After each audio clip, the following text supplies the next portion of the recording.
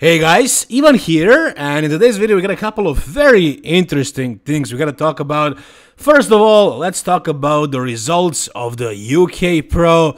Surprisingly, Bruno Santos ended up winning. It is not Andrea Presti who took the last spot at the Mr. Olympia, it's actually this guy right here, the Brazilian Bruno Santos. Now, did I see it this way at the prejudging? No. If you guys watch my video of the prejudging, you know that I thought Andrea Presti was winning. And now I'm seeing a lot of comments, a lot of people saying that Andrea Presti was robbed. Do I think he was robbed? No, no. Even though I thought he was winning, I don't have an issue with Bruno Santos winning instead. I mean, I thought Andrea Presti was going to win because he was more conditioned. But um, you know, he, his legs, his legs are definitely a problem, and Bruno Santos was definitely more complete. And he was kind of like in the middle of these uh, three guys. So uh, you have Luis Breed, who is an absolute monster, a freak, crazy conditioning, but not a best structure. You have Andrea Presti with solid shape, but a lack of muscle in, in the lower body department. And then you have Bruno Santos in the middle, kind of like a mix of these two guys. So a lot of muscle, not the best conditioning, but very complete physique, nice shape. Overall, yeah, I can definitely see why he ended up winning this show. I don't think there was a robbery here. And you know, when I say not the best conditioning, I'm saying not the best conditioning out of these three guys, but overall, he was in decent condition. And you won't be able to see that in this live stream video. I tried to avoid posting it, but let's see this angle as well. I mean, usually, I mean, these live streams are horrible, and so is this one. As you just saw in that uh, video taken with a phone, the quality of the video is 10 times better. You can actually see what these guys looked like, and I'm sure it was better in person, but at least in that video, you can you can kind of get an idea here in, in this live stream. I mean, everybody looks like they're all they're all out of shape, and they are definitely not. So yeah, once again, overall, I think Bruno Santos deserved this victory. He was the best combination of size, conditioning, and shape and structure. And he is going to the Mr. Olympia. I mean, this guy is basically new. I didn't really know much about him until now, but yeah, he actually looks promising. Like I think this physique is very good. I mean, I don't see any any big weaknesses, any glaring flaws. He's very complete, has a lot of muscle, can get in decent condition. I don't know how old he is and like when he turned pro and so on, but you know, he seems like a guy with potential. Hopefully he is young. If he's actually young and has more room to make more progress, then I mean, yeah, he can he can do very well in the future. But we'll see about that. As far as the Mr. Olympia this year, I don't see him placing. Like he's probably gonna be one of the last guys, but like in the future, if he has if he has youth on his side, uh, maybe he's gonna do well. If you guys know a little bit more about this guy, tell us down below in the comment section. Now we gotta talk about this guy once again as well. Patrick Moore, who brought pretty good conditioning, very good conditioning I would say. Definitely better conditioning than uh, what we saw in the past 5 years since that 2019 Mr. Olympia. He finally pulled it together and he actually had an off season with a coach and I thought he was gonna be bigger and also in good condition but you know, it just wasn't enough. Was he bigger? I mean, Maybe he made some progress in certain areas, maybe quads, maybe like chest and arms, but like the thickness of the physique, especially when he turned back, when he showed us his backside, you know, it was he looked slim, definitely not thick enough, especially in the lower body, but like upper body as well. He has a good taper, but you know, it's not the thickest back ever. So in this lineup, he, he couldn't really do much, even though he thought he was probably gonna win or at least do well. You know, the poor guy even made a thank you video prior to the show. He says basically after the show we thank everybody, but like I wanted to do before the show, he even showed us what date it is and what time it is. So I guess he felt confident that he was gonna win, and you can hear it in his voice, you can see it in his face. He felt like he was, you know, happy what he was bringing, and you know, it wasn't bad what he brought to the stage. It actually looked very good. But apparently he doesn't have exactly what the judges want. And here is again 4 to 6th and he, I, I don't know where he placed. We only have the results for the top 5, but based on this call out he was 7th or 8th. And I don't even know how he placed that low. I mean, after I saw his posing routine, I thought he was gonna be like at least in the first call out, not 8.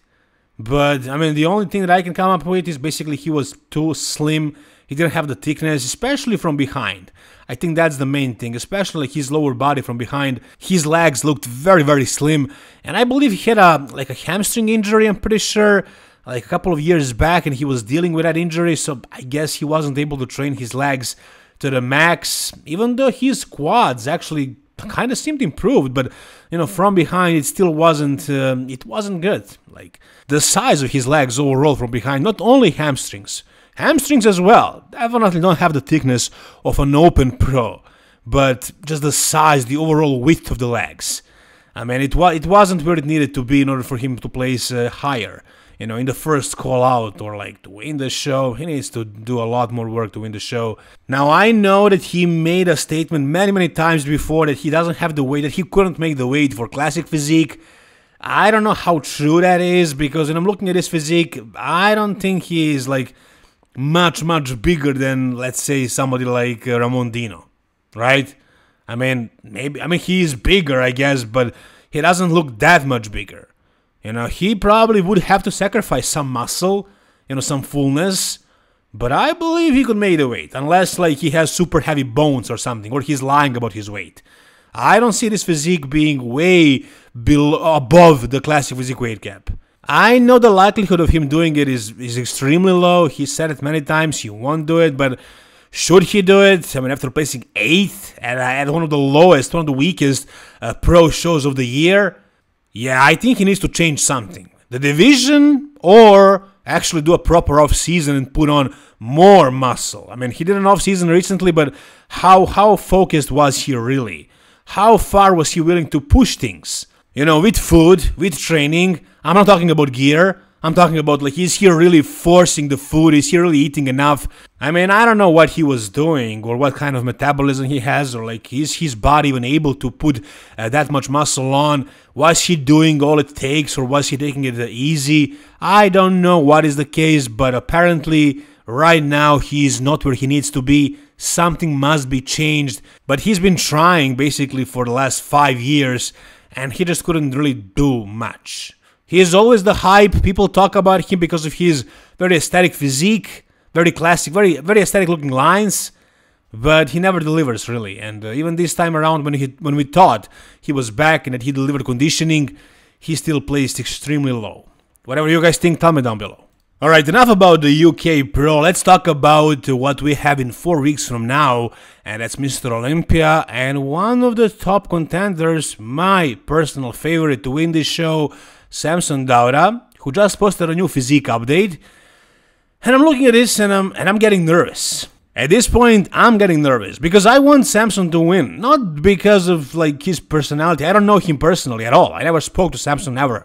I just like his physique. I want this physique to be the best physique in the world because I believe it can be. I believe it's like the best body in the world right now eh, in bodybuilding terms, of course. But it's it was never refined to the point where it can win a bodybuilding show. And I hope it's going to happen this year. I hope he's going to be more conditioned than before. But I'm looking at this and like the time is running out. There are only four weeks left. And does he keep improving the conditioning? I mean, that lower back actually looks uh, very crispy. It looks very, very dry.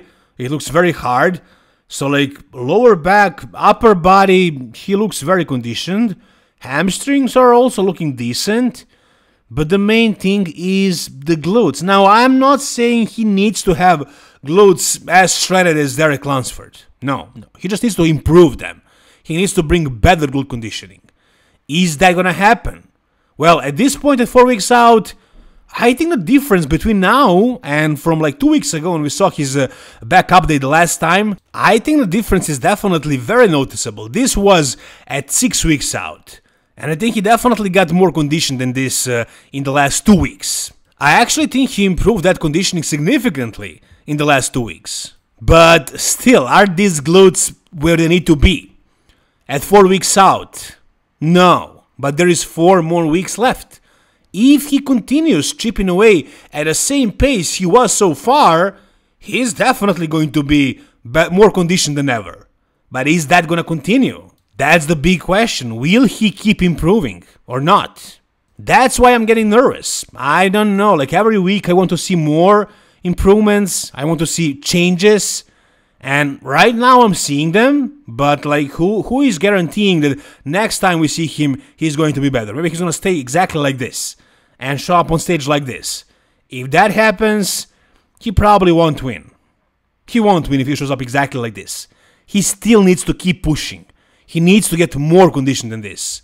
Is he gonna do that? Is he gonna be able to get even more shredded and actually stay big and full and round and have everything a complete package with good conditioning? Who knows? I don't know. I'm hoping it's gonna happen. I believe it can happen, but I don't know if it's gonna happen. I mean, so far, I believe, I still believe. So at this point, he is still my favorite. But at two weeks out mark, I'll make an official prediction video, and if, if I don't think his conditioning is good enough for two weeks out, I might change my prediction. I might put him in second or third. But as of right now, he's still my number one. Whatever you guys think based on this, tell me down below in the comment section, guys. If you enjoyed this video, give it a thumbs up. For more content like this, stay tuned, subscribe to this channel. Thank you guys so much for watching. See you soon. All the best, and bye bye.